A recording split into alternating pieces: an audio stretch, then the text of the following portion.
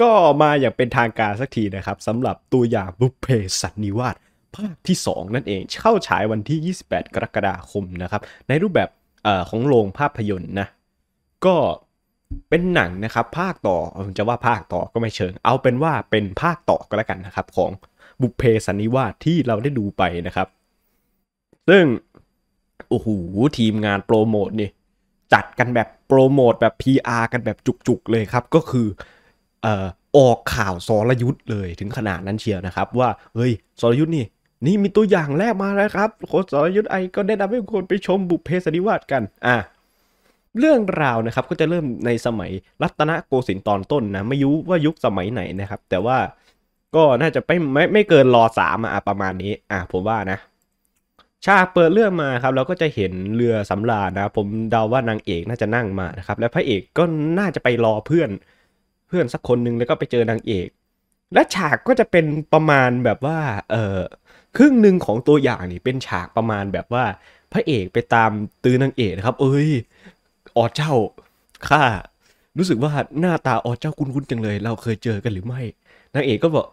นี่ท่านจะบอกว่า เอ้ยนี่มันเป็นบุพเพสันนิวาสกันเหรออะประมาณนี้นะครับ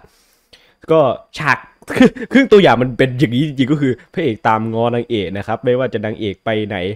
ไหนก็พระเอกก็จะตามไปจีบเรื่อยๆนะแล้วเราก็จะได้เห็นตัวละครสมทบนะครับที่มากันแบบแบบว่าเออพูดตามตรงนะ ถ้าเกิดหน้าใหม่ซะส่วนใหญ่ ถ้าเกิดใครเอ่อดู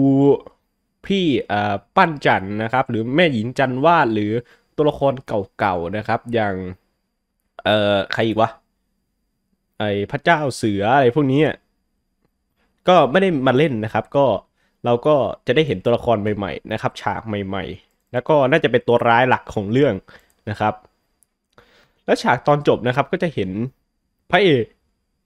นะครับ กระโดดต่อยไปที่เอ่อทาง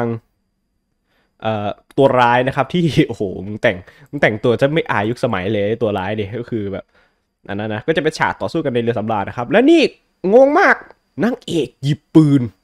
ขึ้นมาและปืนเหมือนจะปล่อยลำแสงอะไรบางอย่าง คือมันเป็นเวทมนต์หรือกระไหลอันนี้ผมไม่แน่ใจนะครับอ่าผมก็ไม่แน่ใจอ่าแล้วเราก็จะได้เห็นมนต์กิษณกาลีนะครับที่เอ่อรูปแบบรวมเล่ม น่าจะเป็นมนต์กิษณกาลีหรือ หรืออะไรสักอย่างหนึ่งแต่ผมว่าน่าจะเป็นมนต์กิษณกาลีนั่นแหละนะอะความรู้สึกหลังดูตัวอย่างบ้างนะครับ ก็ โอ้โหตอนแรกผมนึกว่ามันจะเป็นหนังแบบ เป็นประมาณแบบว่า เอ้ยพระเอก เป็นหนังเป็นหนังแบบเป็นหนังตลกอะไรประมาณนี้ผมผมว่ามันจะออกไปในทาง อันที่จริงเรื่องนี้มันก็น่าจะมีตลกบ้างแต่ว่าผมคิดว่ามันน่าจะเป็นหนังตลกทั้งเรื่องเลยนะครับ ในแต่ก่อนนะก็คราวนี้ก็มีนางเอกไปเอ่ออะไรพระเอกไปตามจีบนางเอกมีตัวร้ายโอ้โหยิงปืนสกันสนั่นวันไหวมาก แล้วโอ้โห แล้วที่มันขนลุกเว้ย เพลงขึ้น เพลงฟ้าดินได้อะไรแบบทำบอลบรรเลงอะไรแบบนี้ เพลงขึ้นเว้ยแล้วแบบโอ้โหเฮียขนลุก นึกถึงเรื่องราวที่เราเคยดูนะครับสำหรับบุเพสันิวาสพูดว่าอะพูดนะตอนนี้เลย มันทำได้น่าดูกว่าที่ผมคิดไว้นะครับสำหรับบุเพสันนิวาสถามว่าผมจะไปดูไหม ผมต้องบอกได้เลยนะครับว่า เอ๋ไหนๆขนาดนี้แล้วสักหน่อยก็ได้ว่า ล้ำลึกความหลัง ไว้ ถ้าเกิดผมรีวิวเสร็จ เอ้ยเพราะผมดูเสร็จเมื่อไหร่แล้วผมจะมาทำรีวิวให้ฟังนะครับสำหรับบุพเพสันนิวาสนะสำหรับวันนี้ก็ อยากให้คุณผู้ชมตัดสินกันนะครับ ว่าคุณจะไปดูหนังเรื่องนี้หรือไม่หลังจากที่ได้ดูตัวอย่างไป ส่วนผมผมไป ถึงแม้ว่าผมจะเคยพูดว่ามันกินบุญเก่าก็ตามแล้วแล้วผมไปดูเลเสร็จปุ๊บผมจะมาเล่าให้ฟังว่ามันกินบุญเก่าจริงหรือเปล่านะครับอะ